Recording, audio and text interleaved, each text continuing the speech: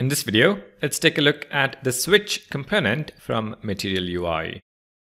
Switches toggle the state of a single setting on or off and are the preferred way to adjust settings on a mobile. Let's understand the component and its usage with an example. Let's begin by creating a new file in the components folder, muiswitch.tsx. Within the file, I'm going to create a new component.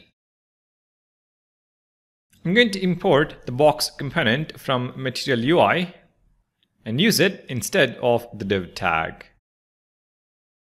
Now, for a switch, we need to import two components, form control label and switch.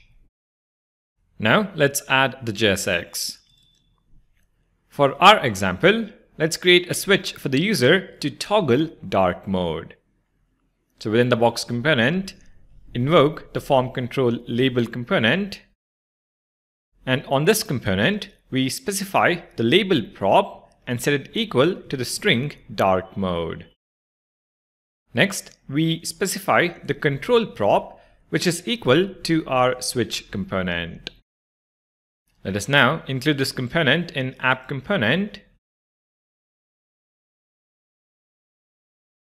and head to the browser. You can see the switch component being displayed. You can toggle between on and off state.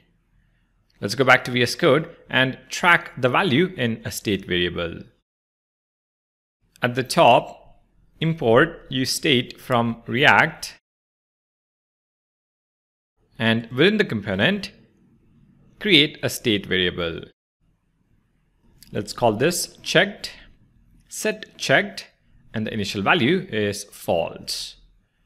Now on the switch, we add the checked prop and assign the checked state variable.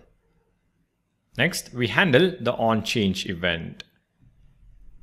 OnChange is equal to handle change and let's define the handler. Const handle change is equal to an arrow function which receives the event as a parameter. So React dot change event of type HTML input element is the type. And within the function body, we call set checked passing in event dot target dot checked. Let's also log the state variable to the console. If we now head back to the browser and toggle the switch, you can see true and false being logged in the console. True when you switch on and false when you switch off. So our switch is working as expected. Now if you want to use a group of switches, you can refer to the checkbox group example from the previous video. All you have to do is change the control prop to switch from a checkbox. I'll leave that for you as an exercise. As for the other props, you can add the size and color props we have been seeing with the other components as well. Let me add size is equal to small and color is equal to success. If we head back to the browser, you can see we have a smaller green colored switch.